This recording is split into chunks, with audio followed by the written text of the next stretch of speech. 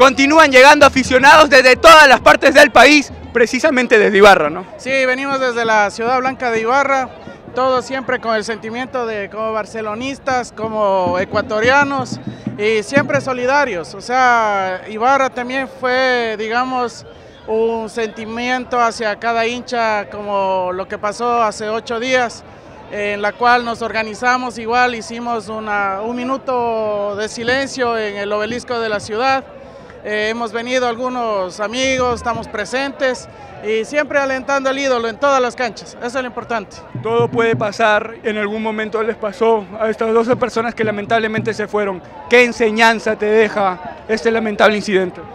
Bueno, más que enseñanza es una solidaridad, no solo para el equipo, sino esto nos enseñó a, a, todos los equipos a nivel nacional e internacional.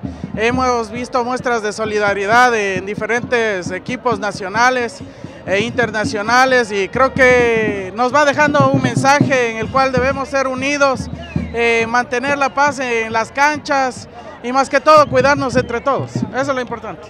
Hay parte, sectores de la sur oscura que está dividida ¿Qué mensaje le podrías dejar a ellos? Tal vez buscar la unificación.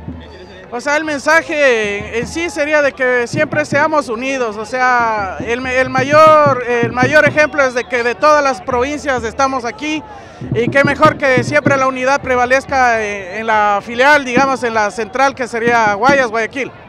¿Qué mensaje, si tuvieras la oportunidad de poder hablar con alguno de los 12 fallecidos, qué le podrías decir?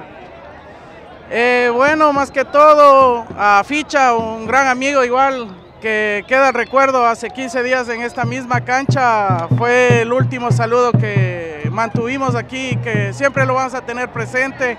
Ha sido un gran amigo que nos hemos topado en diferentes canchas del país y siempre lo vamos a recordar.